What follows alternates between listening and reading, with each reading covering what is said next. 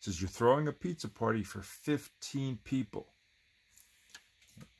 15 people. We're trying to feed 15 people at this party. Right?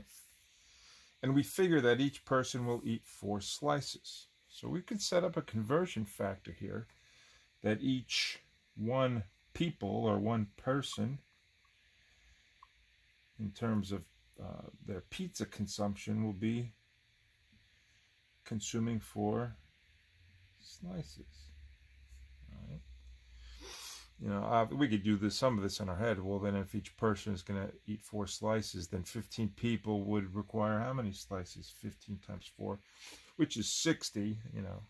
So I need to buy 60 slices of pizza. But we want to set this up using dimensional analysis into a nice equation. So, you know, we can sort of do some of this arithmetic in our head as we go along, but we want to set it up as a dimensional analysis equation uh, ultimately. Anyway, let's keep going. You call up the pizza place and learn, that should be learn, that each pizza will cost you $14.78. So that gives us another conversion. Each pizza I buy is going to cost me dollars. The unit of measure here is dollars.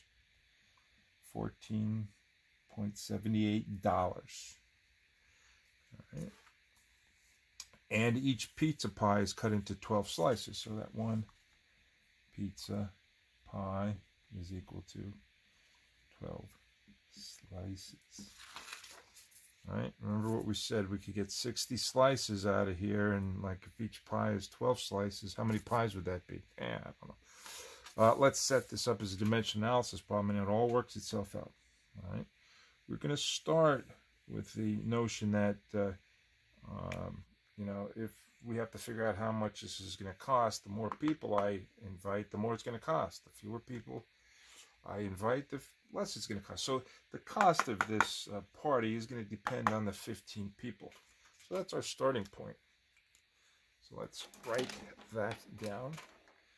15 persons or 15 people. And which one of these conversion factors has persons or people in it? Well, it's this first one right here every one people or every one person. It's going to be four slices. And this is exactly what I had mentioned earlier on, that to get the total number of slices, we had to multiply 15 times 4, and we see that happening right here. Right? So we could cancel people or persons out in this step, and we're left with slices. All right. Now we also know that here's a, a, conversion factor that's got slices in it. Let's just stick that in. 12 slices is equal to a pizza pie, one pizza. All right. And that allows us to cancel slices. And finally, we could get talking about the cost because we're told that one pizza is $14.78. And I've got pizza units here.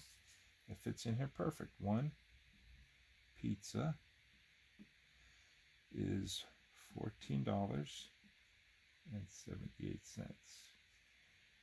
That allows me to cancel out pizzas. The only unit I'm left with here is the units of dollars and that's it. I don't write dollars at the end of the number. I write it in front. That's a little unusual. Most units are behind the number. The dollars is out in front. But that was the question. How much is the pizza going to cost you? So I've worked out my units. Now I have to get the, uh, the arithmetic done, the, the work with our numbers. Let's go ahead and simplify the view here by erasing the units and leaving bare to us just the numbers. I have a couple of fractions being multiplied here.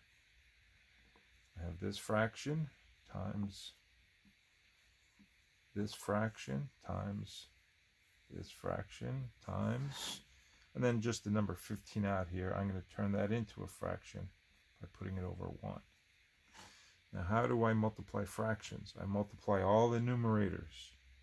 So it'd be 15 times 4 times 1, I could skip that, times 14.78. All over 1 times 1 times 12 times 1, which is just 12. And that is the number of dollars I'm going to have to spend to feed 15 people, assuming they eat four slices each. So let me get out my calculator and start doing this. 15 times 4. Everybody said that was 60. Everybody said that was 60. Uh, and then we're going to multiply that by $14.78. And then divide that whole number by 12. So it's 73 dollars and 90 cents is the answer to this. Now, if you go back and read the last uh, part of this question, it tells you you only have $70. Will you have enough money? Well, no, you don't. How much money are you short? Well, if you have $70, but we've just figured it's $73.90, obviously you're short by $3.90.